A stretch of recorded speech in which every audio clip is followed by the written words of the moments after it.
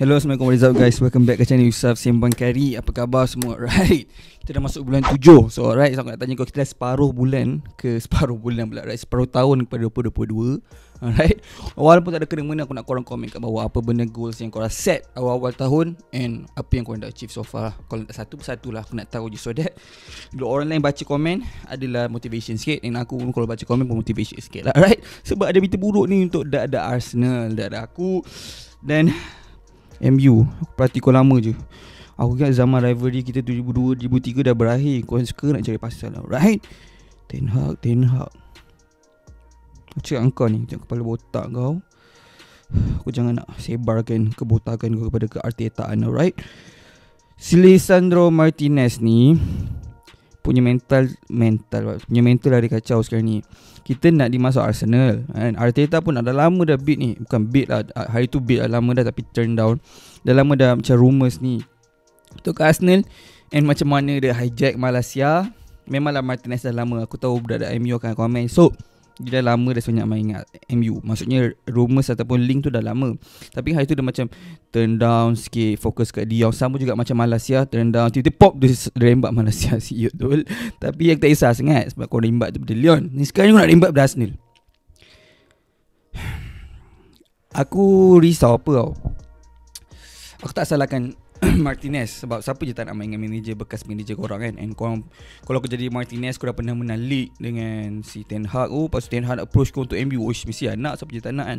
Sebab Malaysia memang slow gila proses dia dengan Lyon. Sebab dia tahu dia memang nak sangat MU pada mula lagi. So MU punya links kan awal lagi. Cuma dia reda jap tiba-tiba jadi balik. So benda sama je kat Martinez.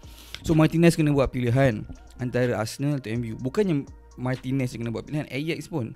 So baru ni MU beat 40 juta rejected Alright? Aku rasa overpriced lah 50-60 juta. Tapi tak salah kat Ajax tu. Aku tengok Ajax.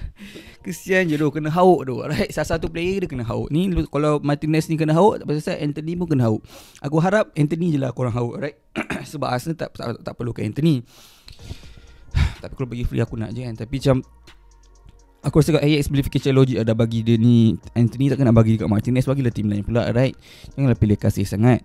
Tapi masalah Arteta ni Kita dah nampak benda tu jadi kat Rafinha. Dia disebabkan masa tu kau seorang je nak team nak player tu. Macam masa kat Rafinha selesa lah masa kat Rafinha tu lepas Barca punya rumor sudah slowly turn down, turn down, turn down. Oh maknanya okay dah senyap sikit. Oh maknanya Arsenal je in the race and semua team tak ada yang masuk campur yang nampak macam Arsenal yang nakkan dia. So apa yang Arteta yang Edu buat macam aku selalu sembang korang. Dia ni shock sendiri lah right? Ambil masa Dia bukan macam Spurs Nak pump settle Nak pump settle Tak ada Sejak bila Spurs macam ni Jangan tanya aku lah Right Aku pun tak tahu So ambil masa ambil masa pump Kena silang pula si Rafinha ni Tapi Belum masuk lah Tapi dah nampaknya susah lah Siapa je nak pilih tim Eropah Senang melainkan tim Champions League kan. So Kelebihannya dua-dua main Eropah lah Untuk Arsenal dengan MU ni. Tapi Sebabkan Ten Hag tu aku risau. So Dah nampak Arteta dah nampak kena reject bid. Baiklah sekarang ni Arsenal pergi all out je kat Martinez ni. And kenapa kita semak sekejap lagi? Aku nak tahu Aku nak pergi all out So that Let's say 60 juta 60 juta lah Kan? Bukannya Okay lah duit dah habis kan? Jual Genduzi Genduzi lah jual lah. Torreira ke apa Dapat lah sikit balik duit kan? Genduzi mana confirm lah 10 juta ke Tak silap aku Tapi tak apa. At least dapat juga duit. Jual Leno sikit Dapat juga duit sikit. Tolong lah jual semua ni. Yang kita tak pakai ni akan bazir je untuk next season. Kenapa Arsenal kena buat macam tu? Sebab Contohlah kalau Arsenal bid 60 juta and accepted kan?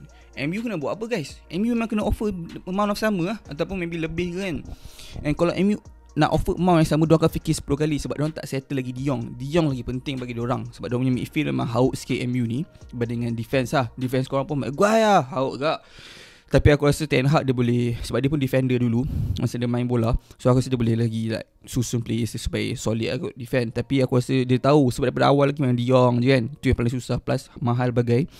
So dia tahu duit dia, tak, dia takut nanti tak cukup duit nak beli Diong Aku harap lah mindset dia macam tu. So dia takkan push lagi Martinez And Arsenal dapat Martinez. Tapi Mengenalkan Arteta so far Dah berapa season lah Dua season lah Dia memang takkan. Aku ingat tak partai dulu Boleh dia let-let Sampai dia nak nego-nego-nego Last-last Apa si Atletico tak nak bekerjasama pump dia trigger je release keluar. Tapi itulah nasib baik Arsenal je nak party time tu kan. Ha, time ni sekarang ni susah. So MU nak song live aku salahkan MU sebab jadi ni memang sangat-sangat lah function lah. Kalau tengok punya highlights Cara dia main.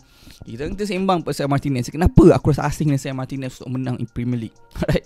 Kau jangan gelak. Aku, aku tahu kau fans MC gelak kan. Aku cakap menang Premier League. Aku pun tak percaya sebenarnya Tapi itulah Tak apa kita sembang je Alright? Sebab je ni kau tahu Tierney selalu injured kan? Tavares kena bagi loan Sebab dia tak ready lagi Untuk physicality of the Premier League. Aku harap dia bagi loan kat team Premier League lah Tapi susah. Championship pun okey lah Sebab dia dapat aggressive Of the English League tu.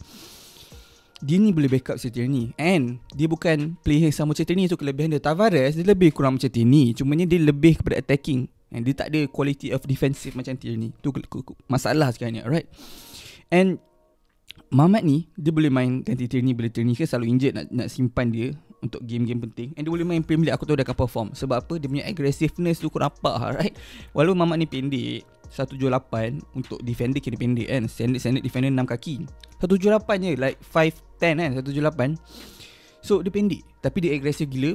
And Kelebihan yang semua team nak Technical ability dia. So kau bayang eh?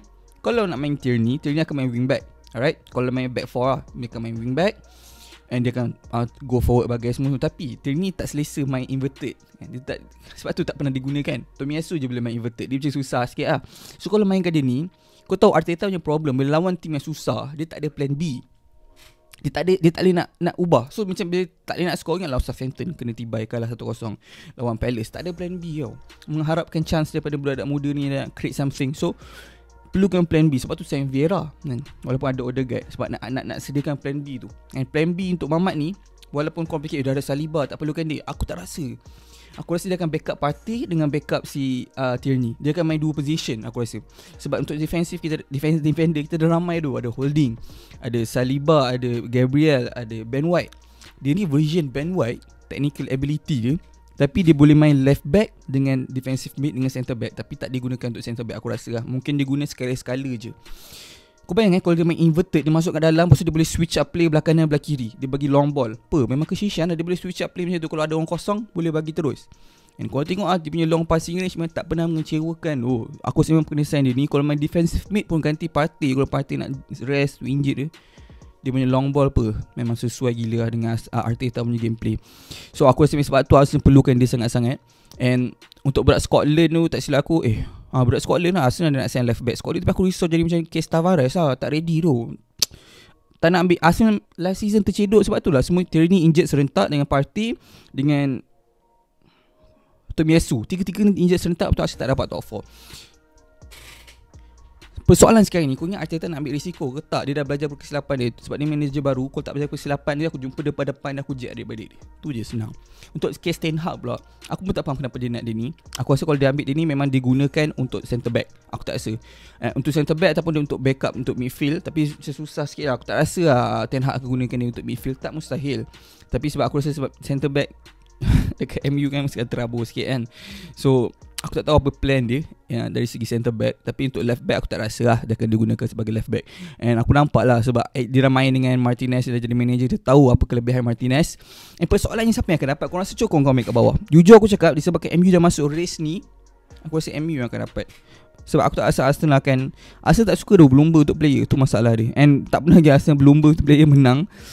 So Kita akan tengok lah Kalau Arsenal menang kali ni. And Susah agak sebenarnya nak menang tu Komen je lah kat bawah apa pendapat korang Kalau dah ada MU ke ada uh, Arsenal.